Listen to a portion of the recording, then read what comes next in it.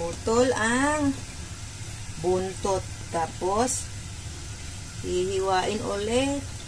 We never took another off on me cold Won't even turn the light on Told me you're oh, oh, so out control I'm high as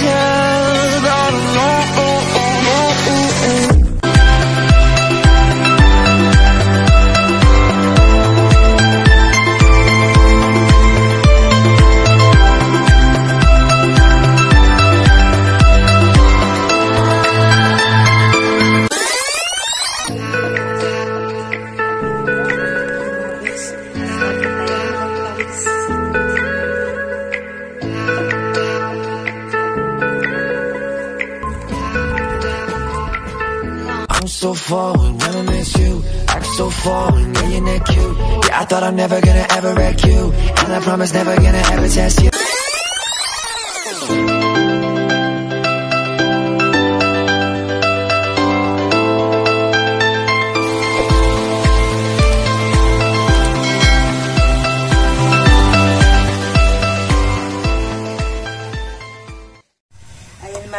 bes, welcome back to my channel. Ayan mga bes, today is April 3.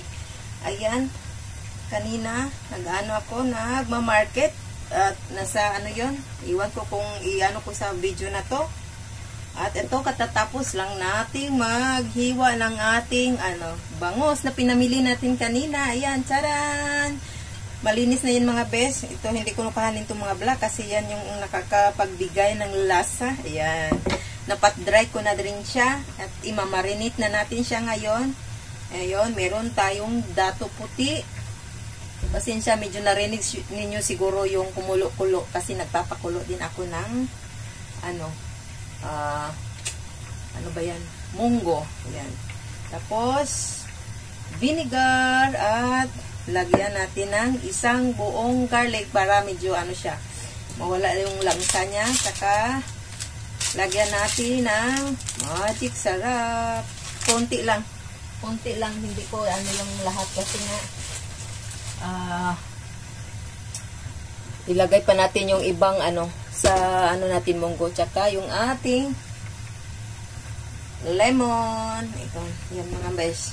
I-marinate muna natin siya mga bes. Tingnan nyo yung ano, kung paano. Just keep on watching. Ayan. Alam kong, ano, relate kayo nito. Ayan, mabilisan. Pag walang ano, ayan. Ayan, ito yung pang-alok sa talsik-talsik pa naman yung ano nito. Maglinis pa tayo mamaya. Sana mamaya pa yung mabalik sila amo. Dito. Ano natin para hindi gaanong ano, malaki yung linisan natin mamaya. Ayan. Alam ko yung mga katulad ko din. Ha? Ganito tayo. Pag walang amo, ay saka naman tayo ano, magluluto. Pero siyempre wala nang ano din kasi tira naman natin kung binili natin. Siyempre nahiya tayong magluto. Hindi sila dito magkakain. Sinabihan na tayo hindi sila kakain dito. Hindi naglu- nagluluto pa tayo. Siyempre, oh, wala na sila. Ganun lang yun. Yan. Ganito ako mga biswag ano, pag magbabaon. Bibili ako ng ano, maaga para pag wala sila, itatayin natin ito. Kasi tapos yung ano, masarap kasi yung presko talaga. Kahit medyo may kamahalan, at least ano siya, yung presko talaga. Ito din sobrang fresh niya mga besto. Tingnan nyo, yung bangos. Titin, isa lang din ang nagtitinda ng bangos, bangos mga besto.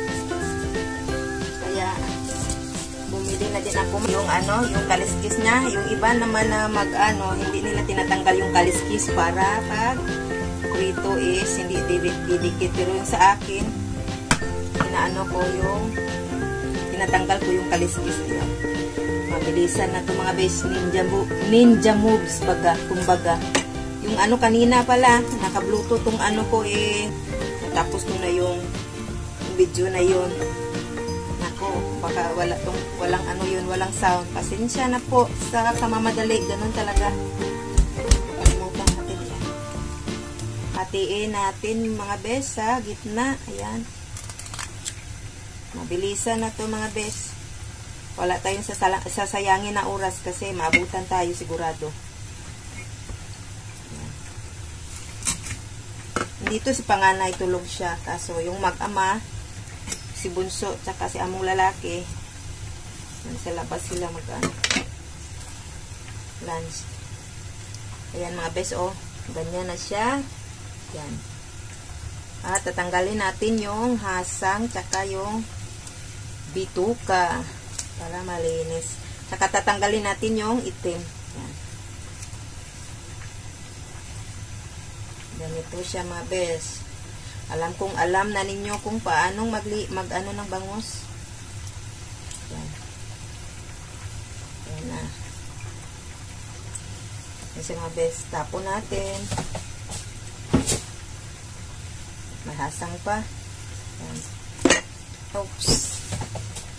Nagkalat ma. Tumalsik ang dugo-dugo. Yan. Ito. Hanin natin. Yung ganito mga bes kasi taba to sa tiyan.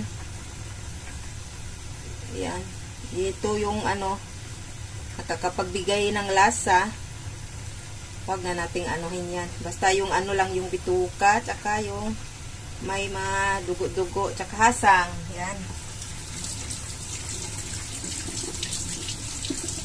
Tsaka na natin mahugasan na maigi kasi may dalawa pa tayo. Saglit lang po. Nandito na tayo sa pangalawang bangus.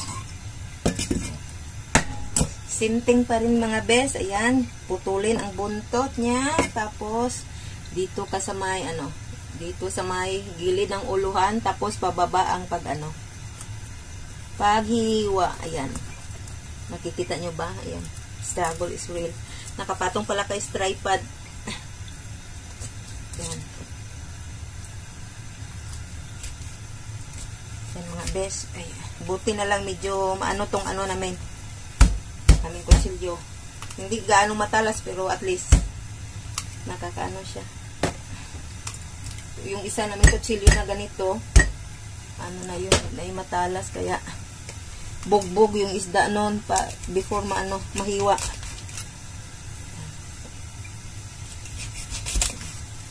Tapos, imarinate natin ito mamaya mga bes na suka, toyo, at saka nasa sa inyo yon kung lagyan nyo ng asin o salt, kung gusto nyo ng medyo maalat, tsaka lagyan natin ng lemon.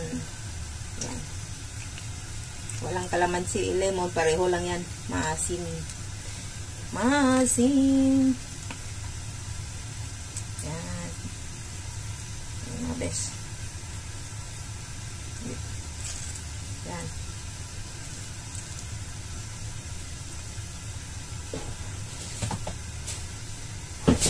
Yan na mabes. Saka yung mga, ano, yung dugo na, ano, bubuo na dugo. Yan, kuhanin natin yan. Yung itim. Hugasan lang natin yan. At huwag na natin tanggalin kasi yun yung, ano, dagdag lasa. Kasi may taba-taba yan. Yung puti na yan. Yan, masarap. Saka na natin hugasan.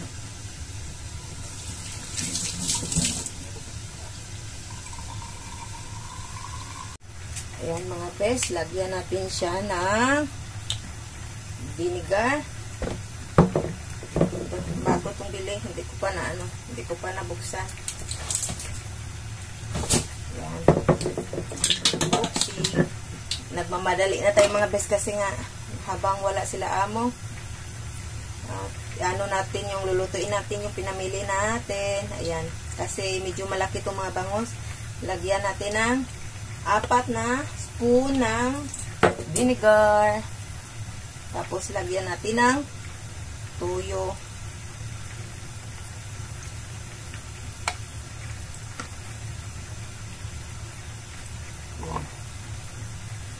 Limang spoon ng tuyo mga bes kasi ano siya, medyo meron pa tayong lemon na ilalagay. Yung ilalagay nating lemon is ano lang mga bes, kalahati lang yan. Ay, sobrang init dito sa ano, kusina. Hindi ko binuksan yung ano, yung fan kasi nga maingay tayo pag bubuksan natin yung exhaust fan. Ayan. Marami pang mga kaliskis dyan kasi nga nagkalilinis natin tapos diretsyo na para ano Meron pa tayong gagawin. Magluluto pa tayo ng munggo. Mag garlic. Ayan. Walang space yung ano natin. Kaya, ayan. Diyan ka muna. Huwag kang aalis, ha? Uhu, naligo na po sa ano. Pawis. Okay lang yan. Karil nakaka-relate yung tulad ko, yung mga OFW para ano, yung makatipid tayo, huwag tayong bumili nasa ano labas, kung may chance tayong makapagluto at makabili ng ano natin. Ayun yung gagawin natin para tipid. Ayan. Ubusin ko na yung isang buong garlic para mabango siya mga bes. Tsaka lulutuin natin mamaya mga i-marinate natin ng mga tingnan natin kung mga 2 hours is hindi pa sila darating is lulutuin ko na yan. Yan.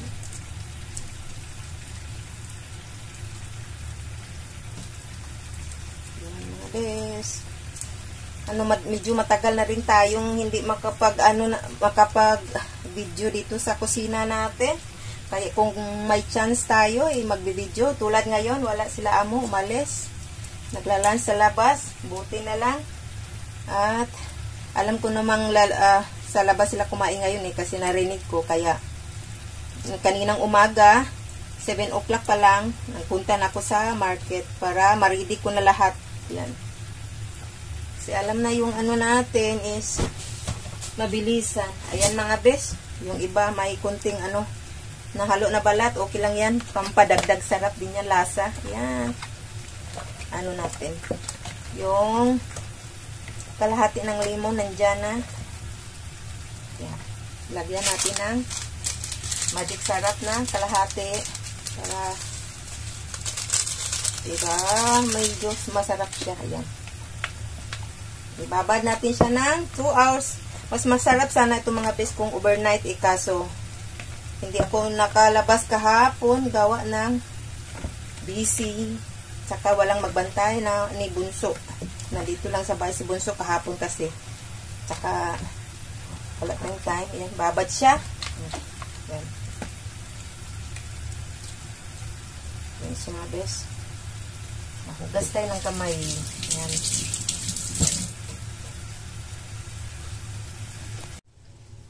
Ayan na siya mga bes, nakababad na siya. Balikan natin siya ng after 2 hours pag hindi pa dumating sila amo. Ayan. Ilagay muna natin siya sa ref. Ayan.